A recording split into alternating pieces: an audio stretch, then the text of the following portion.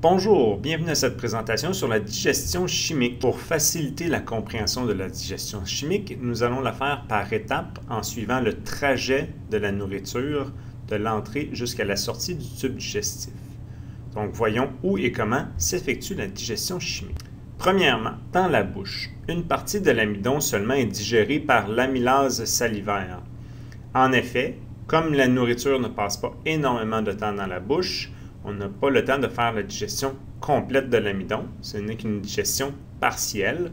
Les polysaccharides vont donc être des polysaccharides plus petits à la sortie de la Donc, il reste encore des polysaccharides qui se rendent de l'œsophage jusqu'à l'estomac.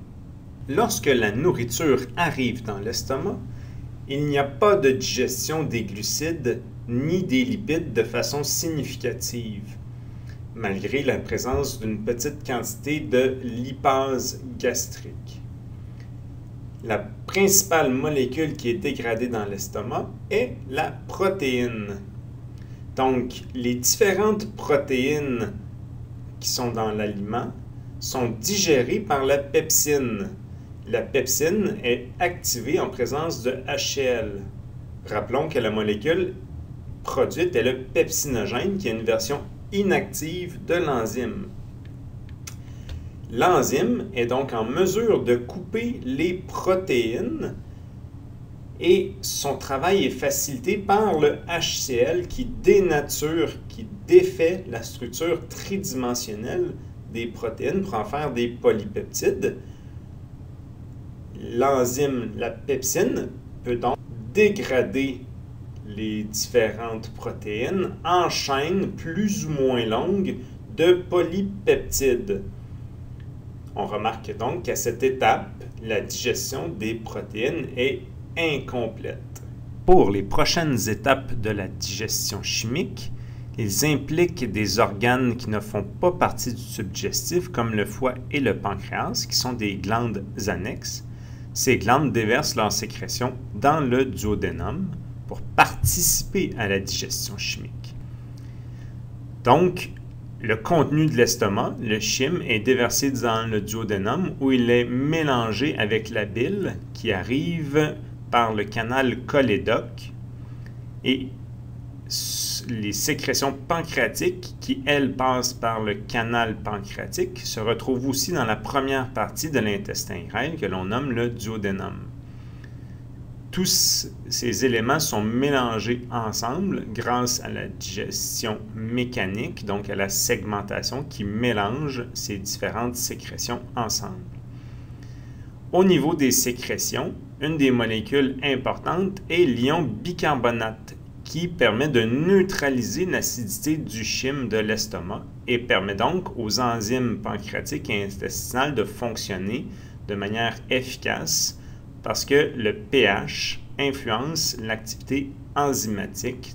Donc le pH acide de l'estomac était propice pour le travail de la pepsine, alors qu'il nuit au travail des enzymes qui sont présents au niveau du duodénum. C'est pour ça qu'il est important de modifier le pH au niveau du duodénum.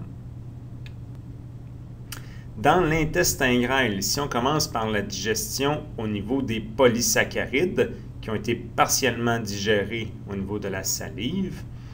Le travail de l'amylase pancréatique, qui est similaire à l'amylase salivaire, est de poursuivre la digestion des polysaccharides. À la fin du travail de l'amylase pancréatique, on obtient donc des disaccharides. Et ces disaccharides sont coupés à leur tour par d'autres enzymes que l'on appelle les disaccaridases ces enzymes sont produites par la bordure en brosse de l'intestin grêle.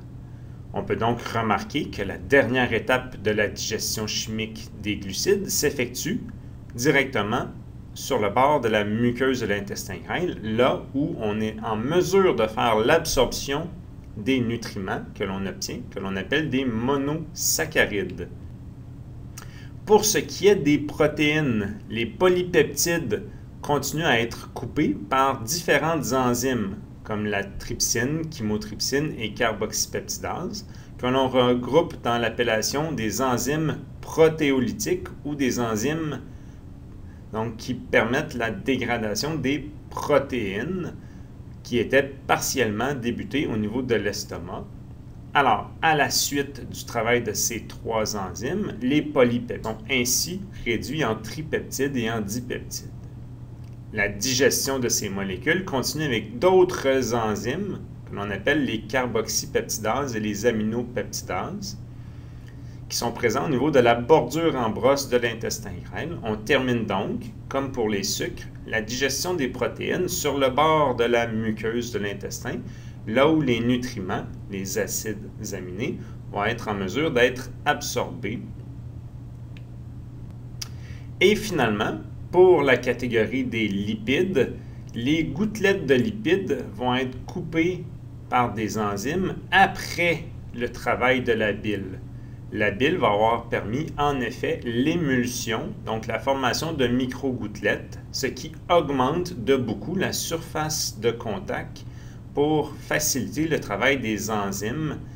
Et les enzymes impliquées dans la digestion des triglycérides sont la lipase pancréatique, qui est capable de couper justement les, et ainsi obtenir des acides gras, des glycérols et des monoglycérides qui sont des nutriments qui peuvent donc être absorbés au niveau de la muqueuse intestinale.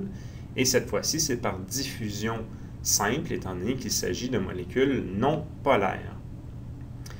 Ainsi, les différents nutriments obtenus par la digestion sont absorbés au niveau de l'intestin grêle selon leur nature polaire ou non polaire par différents mécanismes de transport et une partie de l'eau aussi est absorbée dans Dans le gros intestin, qu'on appelle aussi le côlon, il n'y a pas de digestion effectuée par notre système digestif. Il y a une partie de digestion chimique qui est effectuée, mais par le microbiote, donc par les différentes bactéries qui sont présentes dans notre tube digestif, qui vont être en mesure de couper des liens parce qu'ils ont des enzymes différentes des enzymes que l'on produit. Dans le côlon, le principal processus digestif effectué est l'absorption d'eau, mais aussi de certaines vitamines produites par les bactéries du microbiote, comme les vitamines K et certaines vitamines de la famille des vitamines B.